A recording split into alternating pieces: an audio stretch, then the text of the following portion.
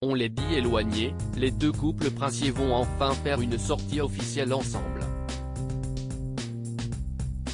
Meghan Markle et le prince Harry se retrouveront avec William et Kate Middleton à l'occasion du Dimanche du Souvenir, le Remembrance Sunday.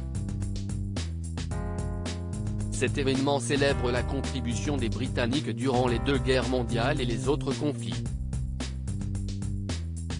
Pour l'occasion, ils porteront comme de nombreux Britanniques un petit coquelicot rouge, comme il est de tradition. Cet événement, qui aura lieu le 10 novembre, sera la première apparition publique commune entre ces deux couples depuis un documentaire de ITV. Dans ce film consacré à Meghan Markle et Harry, le couple princier se plaignait notamment de la pression médiatique envers eux. Harry avait également indiqué que lui et William avaient évolué et étaient désormais sur différents chemins. Quand vous êtes frères, il y a des jours heureux et des jours tristes, poursuivait-il. Des phrases qui ont mis en colère le prince William, tout comme leur père le prince Charles, à en croire la presse britannique.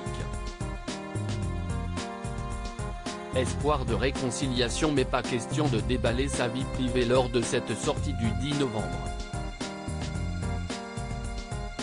Une source royale a affirmé au Sun que toute l'attention du palace sera sur les braves âmes qui ont perdu leur vie dans le pays. Ce jour pourrait même régler les problèmes entre les deux frères. Il y a cet espoir général que ce jour pourrait créer du recul et permettre aux membres de la famille royale de réfléchir à ce qui compte vraiment dans la vie, poursuit la même source.